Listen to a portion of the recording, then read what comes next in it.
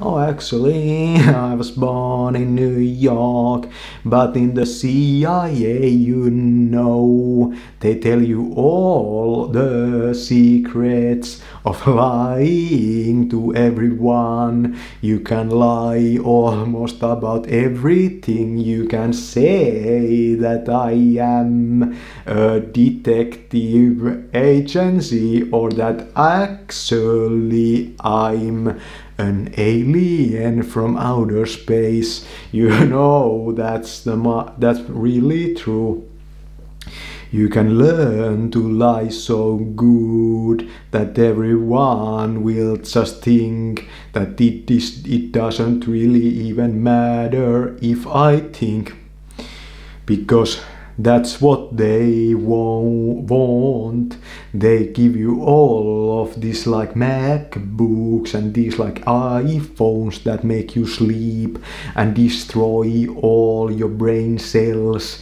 It's a whole system keep to keep you unconscious of this process where they go like undercover into your dreams and into your into your like emotions. They manipulate it all. Do like images like like like the pictures and the movies you know all about the Clooney's you think I have.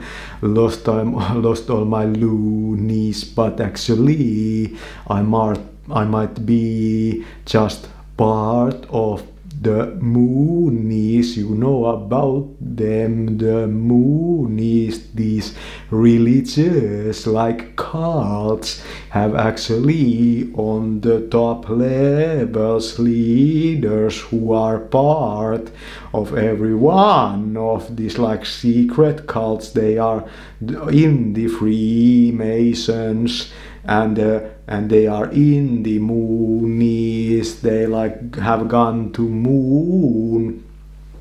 There are ways to travel faster than the speed of light. You know about that. It works like this. You put on your head a fedora hat. Then you pray to your god